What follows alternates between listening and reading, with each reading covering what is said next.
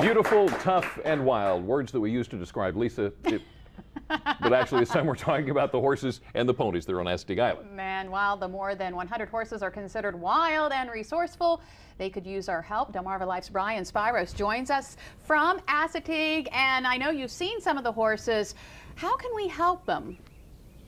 Well, Lisa and Jimmy, when we were coming in here earlier, we saw several of them grazing on the side of the road doing their thing. You know, there's about 114 horses on the Maryland side of the island, plenty more on the Virginia side, and people may not even realize this, but you can actually become a foster parent to one of these horses. And I'm joined now by Carl Zimmerman, who is the management assistant. And Carl, first thing, you guys have actually had some recent additions here to the island. Tell us about them.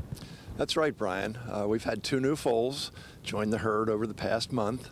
Uh, both are fillies. Uh, the one's a solid bay, and the other's a pretty little brown and white pinto. And they're the only foals we're expecting this year. The only two, and they've arrived. That's right, they're here and they actually joined five other foals that were born uh, born last year. Joined five other foals. Their names are Giggles, Charmed, Dewey, Pretty Lass, and, and Shasta. Some interesting names there, to say the least. Uh, absolutely, and those names come from the fact that we allow folks the opportunity to go ahead and name our young foals every year.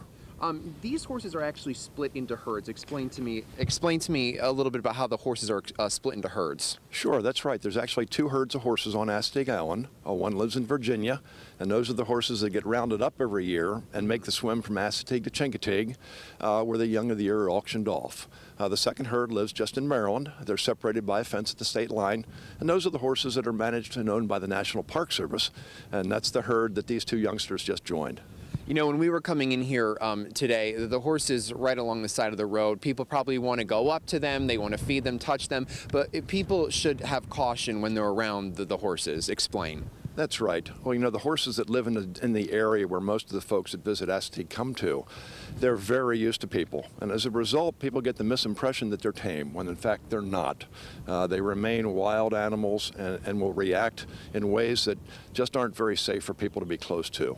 So we always ask folks to keep give the horses their distance, stay away, uh, enjoy them from a distance. And you said it would keep about 20 feet away from them. That's right. About a school month length is, is, a good is a good rule of thumb. Any closer than that, those horses spook. They can move a whole lot quicker than you can. And we have folks that get kicked or bitten every year who venture too close. And obviously, don't be feeding them either. Any of that. That's right. These horses don't need don't need human food. There's plenty for them out here to eat. And by getting by feeding the horses, you tend to attract them to where the people are, and that includes the sides of the roads. And every year we have at least one horse hit by a car. So word to the wise, everyone should use caution. Now, the other thing I want to talk about is um, the, the foster parent program. Explain to me what this is all about. Well, we have a friends group called the Assateague Island Alliance, and they manage the program for us. And for $31, folks can become the official foster parent of the horse of their choice. Uh, it's a great program. The proceeds are used by the National Park to help manage the horses. Uh, that's the funding that supports the contraceptive program that manages that uses we use to manage the pro, the horse population, as well as educational items. Uh, for example, the movie uh, we show about the horses in the visitor center was funded by the program.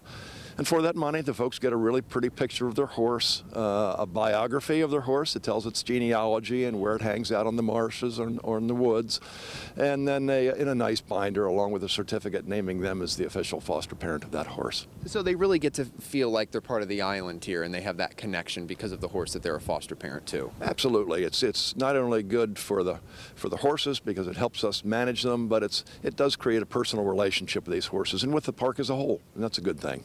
Now we talked about those uh, two fillies before. They um, won't be up to be uh, a, for someone to be a foster parent to them just yet. That's right. I mentioned earlier that uh, all the young of the year, uh, folks have an opportunity to name them. Uh, in December, our friends group will, will hold an eBay auction, charitable auction, and the winners of that auction will get the right to uh, name that horse. And then after that, it'll join the foster horse program. All right, so a lot of good information for people. They can definitely be part of it. And if you come on down to see the horses, of course, just keep your distance. That's it. All right, Carl, thank you very much. We really appreciate it. Now, for more information on the foster parent program or about the horses here on Assateague Island, you can go to our website, delmarvalife.com, and click on the show tab. So, Jimmy and Lisa, if either one of you were interested in being a foster parent to a horse, you can live out your dream now. Time to do it. Sounds like a good idea. really does. I want, I want to name the horse. That's what I want to do. Have you got a name in mind? Uh, not yet, but Not I'll yet. think We'll of something. How about Brian? I'll name it Brian. I like that. I You like that a Brian lot? is a very good name. All right. Brian, thanks. Well, up next on Delmarva Life, Lisa kicked off Delmarva Emerald Society's St. Baldrick's fundraiser last month by shaving a head. You remember this? Oh, I remember that. Delmarva Emerald Society is back with an update on how they did. Plus, we'll hear more about their next fundraiser and how you can help Delmarva Life. Life at its best here on Delmarva.